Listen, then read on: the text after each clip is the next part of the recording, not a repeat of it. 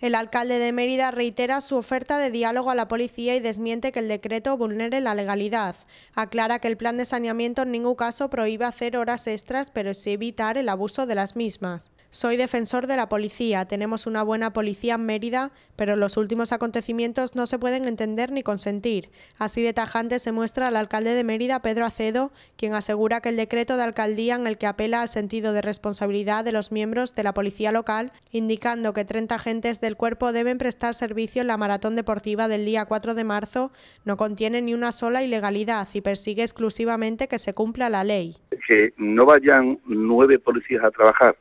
en una sesión de 11, o sea que tenían que entrar a trabajar 11 policías a esa hora y solo lleguen nueve a trabajar, no cabe duda de que es extraño, es raro, ¿no? Entonces eso es obvio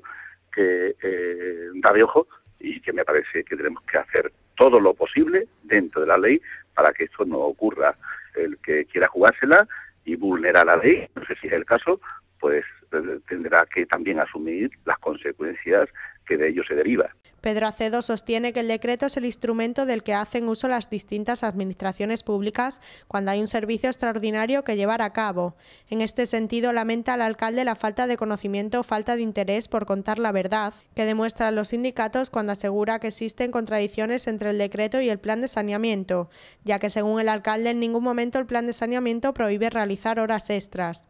Una vez más, el alcalde apela al sentido de responsabilidad de los agentes de seguridad y les recuerda que los mismos policías ya advirtieron en uno de sus escritos de las consecuencias que podrían derivarse de la falta de vigilancia policial en determinados eventos con concurrencia de público. El decreto solo pretende que se ejecuten los servicios extraordinarios previstos y que, según explica el alcalde, serán abonados como corresponde.